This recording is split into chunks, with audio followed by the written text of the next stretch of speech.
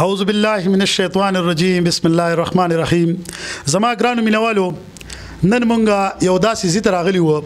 چې په اغه زی کې یو ماشوم دی چې هغه تعلیم سره سره پینټینګ سره ډیر زیات شوق لري او غواړي چې زه یو پینټر جوړ شم زه یو دغه کوم ډیر زبردست او ډیر خو آیډیا دا ډیر خسته سوچ دی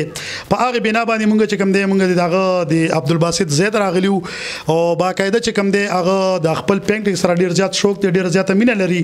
زه غواړم چې دا شید ویلج په ذریعہ باندې په دغه لار باندې په دغه لیک باندې زه عبدالباسط تاسو سره مخاطب کما او تاسو ته وخایم چې آیا د تعلیم سره سره په پارت ټایم کې انسان سکول شي او سره روجان ساتي نو دغه رنګ چې کوم دی عبدالباسط د یو پینټینګ سره چې کوم دی خپل ژوند وابسته کړی دی او تعلیم سره سره سره چې دی دغه پینټینګ کول غواړي نو زه تاسو ته دغه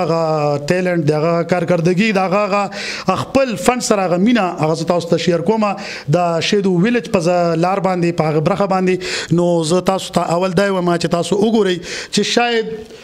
عبدالباسط صاحب سمرا زبردست رائټینګ کړی دی دا وګورئ دا خوشخطي کې چې کم دی نو داغه ډیر زبردست دا کړی دی رائټینګ کړی دی دا وګورئ څومره زبردست بیا دې سره سره چې کم دی پینډینګ کړی دی غیر ملکی عورت امریکن او مطلب دا چې دا سو سره صحرا کا منظر نو دا وګورئ څومره زبردست پینډینګ او دا مینه ور سره لري په هغه وجه باندې دا وګورئ څومره زبردست پینډینګ دی دا د عبدالباسط فن او داغه مینا یقینا مهنت ته چا نه ځای کیږي ان شاء الله دا برنګ وروړي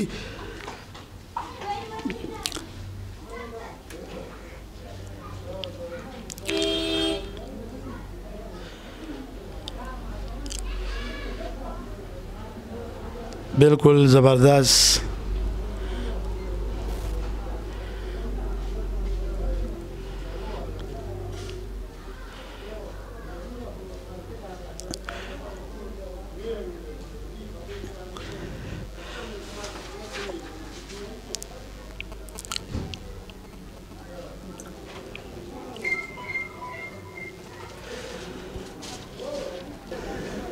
زما مینوالو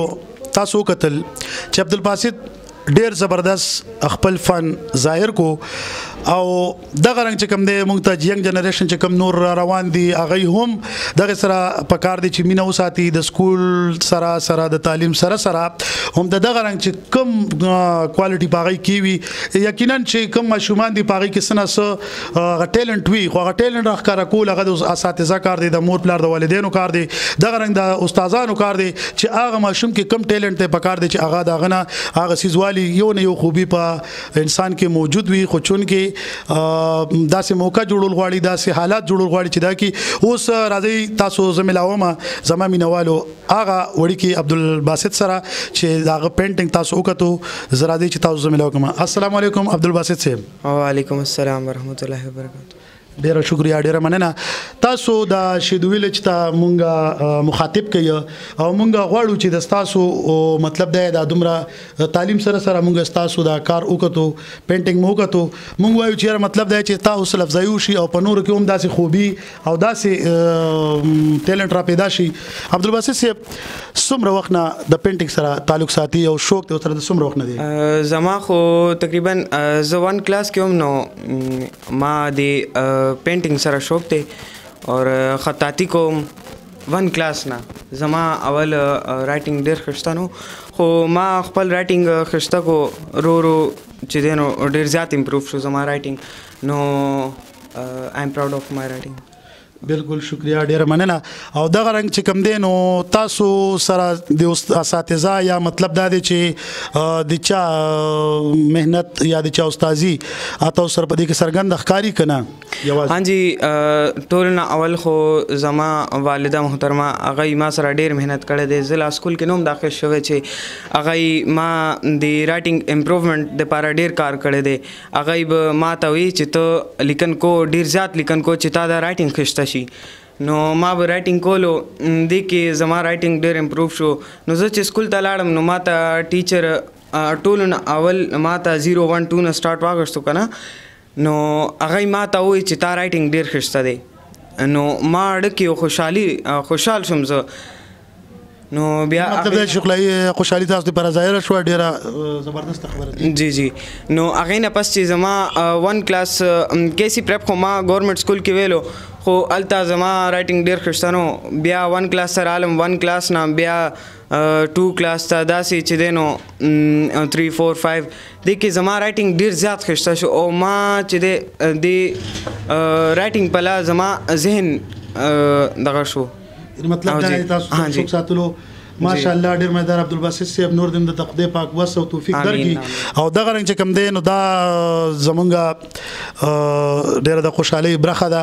چې مطلب دا دا داسې ماشومانی هغه ټیلنټ ساتي او خپل والد والده صاحب چې دی کومه دا مورکۍ چې کومه دا غي مو سره ډیر زیات هیلپ کوي په دې باندې او حقیقت دی چې مطلب دا دی مهنت ته چانه ځای کې خامخا رنگ وروړي لکه څنګه چې عبدالباسط صاحب مطلب دا دی کوشش کولو کوشش کولو اخر دا چې مطلب دا دی چې کم دا غمینه وا او هغه څه چې کم دی تاسو په وړاندې رالو را سرګن شو ډیر مننه عبدالباسط صاحب او مونږ خو ډیر زیات شکر گزار یو چې رالو استاد مطلب دا دی چې دا پینټینګ مو کتو او نور سره بیانیر کو شعر به کو دا استاد کامیاب عبد الباسط صاحب تاسو چې مدینو عوام ته په دې باره کې مطلب څه میسج ورکول غواړي زما خپل همزولیانو ته او خپلو د شهیدو خلکو ته زما یو پیغام دی هغه دا دی چې یو ماشوم وي هغه لویږي نو هغه ته مونږ نن سبا چې کوم دی نو مونږ ورته موبایل ورکو چې ته کارټون وګوره هغه چې جاړي نو مونږ ورته موبایل ورکو چې ته کارټون وګوره او هغه کارټون په ذریعہ هغه چې دی نو چپ شي وړوکوالي نه چې مونږ ورته کارټون خیاو کنه نو هغه بیا همدغه کارټون والا مایند جوړیږي